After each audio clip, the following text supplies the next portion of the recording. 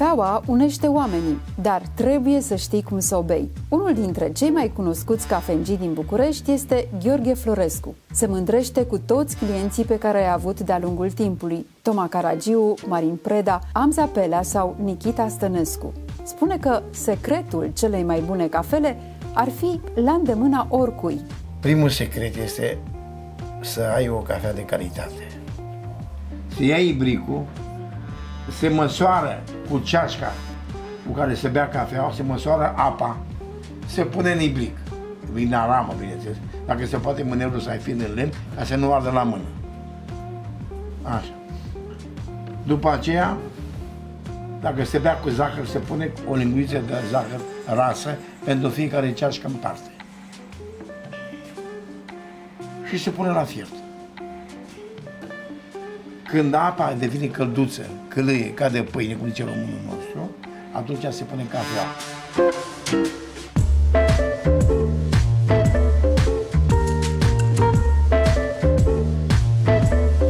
De ce se pune când e apa puțin caldă, că dacă se pune rece, rămân cocoloase.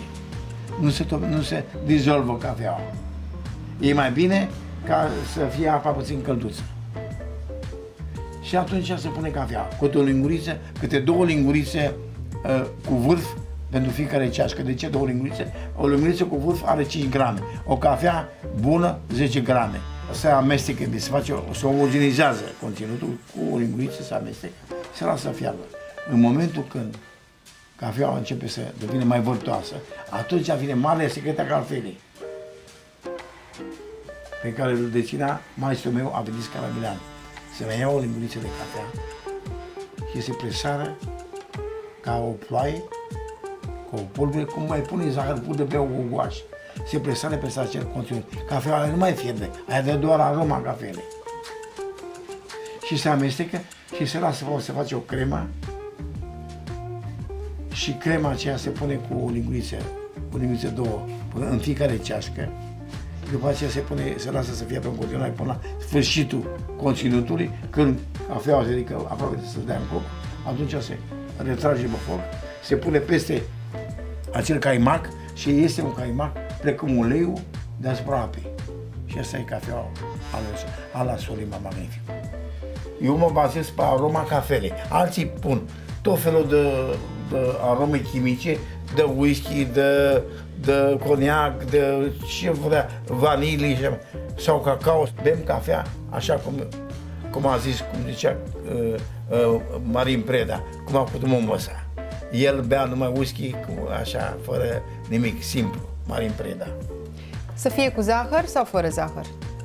Eu zic că la vârsta care o am, e bine să evit zahărul. Și nu beau, eu beau simplu. Armenii care sunt mari iubitori de dulce și de dulciuri, ei folosesc mierea. E greșit dacă pui miere în loc de zahăr în cafea? Nu, dar nu se pune la început, la sfârșit. Când e cafea fiată, mă refer de cafea la ibric. Se pune mierea cât de sfârșit. În orice familie, bărbatul trebuie să fie acela care face cafeaua în fiecare dimineață. În acest fel se asigură fidelitatea într-un cuplu, crede cafengiul Gheorghe Florescu. Eu pot să vă spun o poveste din viața mea, încă din tinerețe, am avut o, o familie de evrei foarte în vârstă, adică peste nou. El avea 94 de ani, ea avea 92, familia Richter.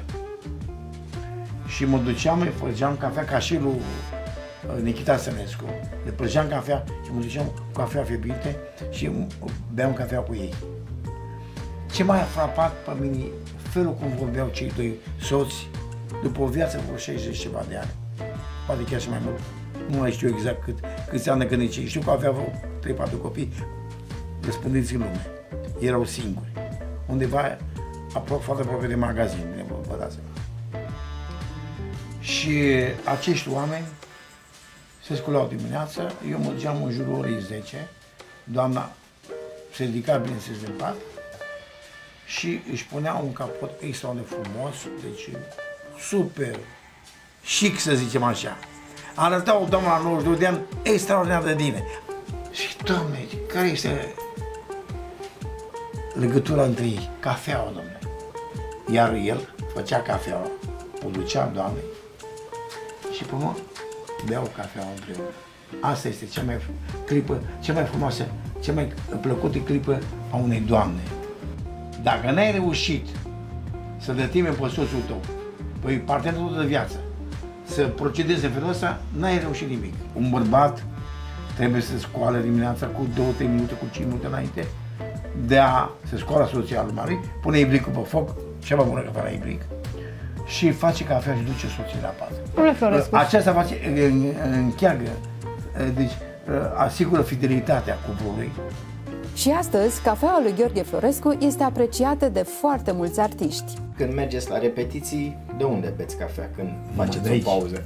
Avem trei automate în filarmonică. A, dacă ești băutor de cafea, adevărat, nu poți să faci astfel de compromisuri.